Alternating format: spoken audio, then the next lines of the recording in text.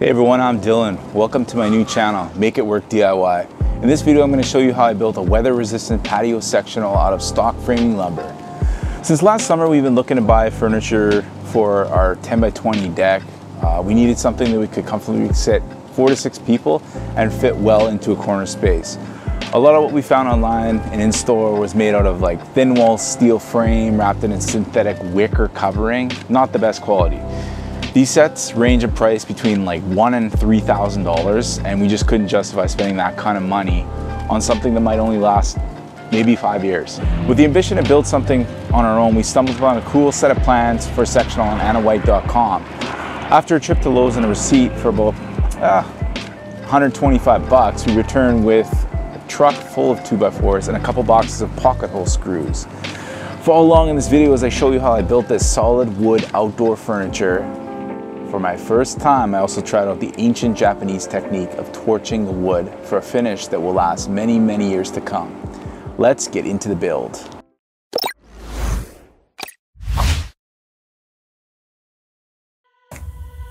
The first thing to do is cut all the lumber down to size. The plans for this sectional comes with a complete cut list, so it was really easy to follow.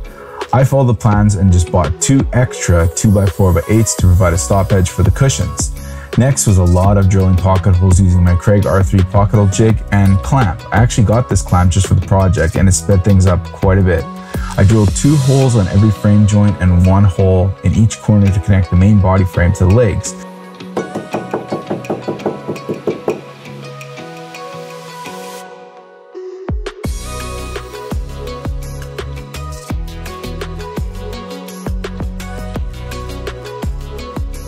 After that, I used two and a half inch Kreg coarse thread pocket hole screws rated for outdoor use to make all the connections.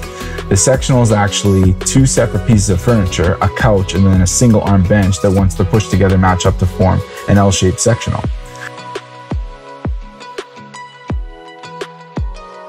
I did have to use a different clamp in the corners where the R3 wouldn't fit, but I made it work.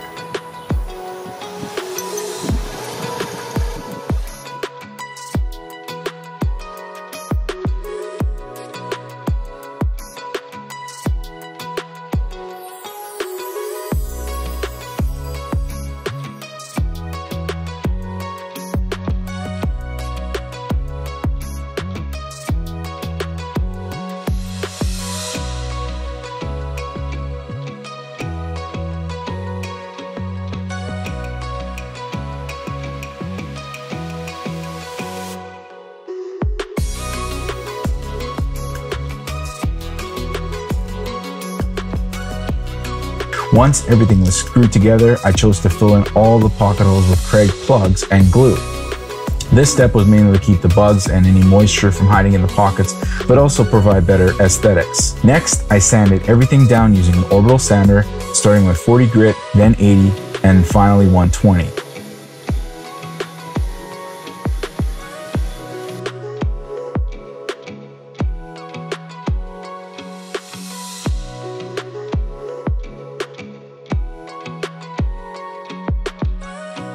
Then came the most fun part of the project, burning the wood.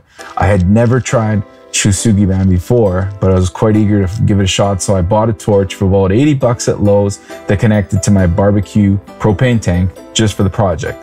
Once I had a bit of practice torching some weeds in my backyard, things were good to go. I held the torch about 10 inches from the wood to get a nice consistent char on the wood. In corner spots, I had a couple tiny fires start, so it was good to have a garden hose right there, charged up and ready to put them out.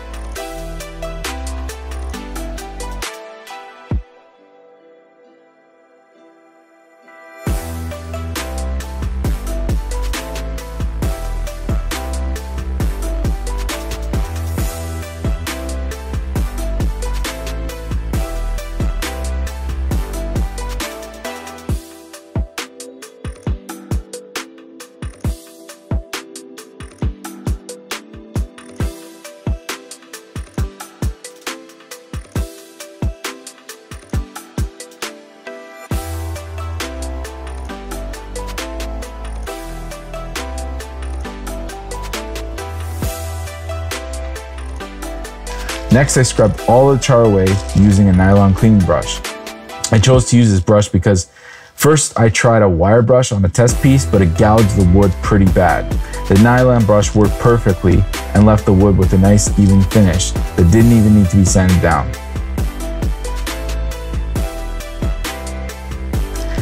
Then I sprayed the whole thing down with water to rinse off all the char dust. I was also impressed to see how quickly after the wood was torched, water was already beating on top of it naturally without any kind of sealant.